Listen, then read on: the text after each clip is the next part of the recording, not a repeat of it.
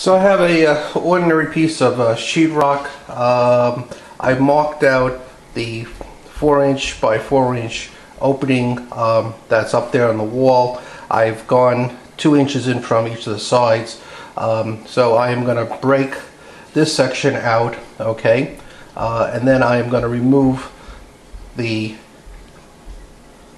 stuff from here over to this edge all the way around this four inch. So we're going to leave this uh, with the gypsumite intact, but we'll strip this out just to the paper here.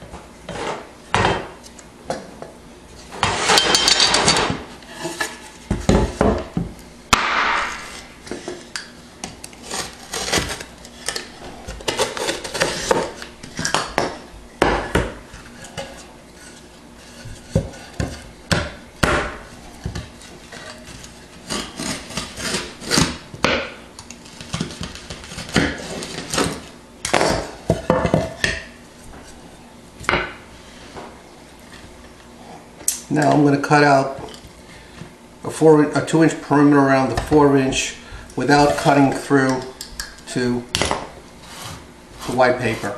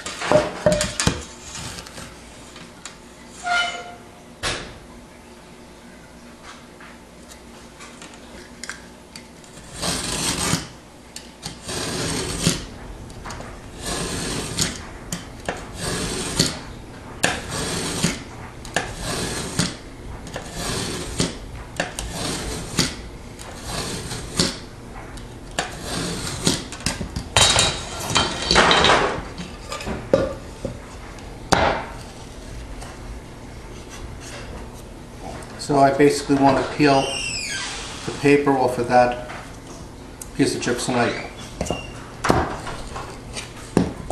Same for that side.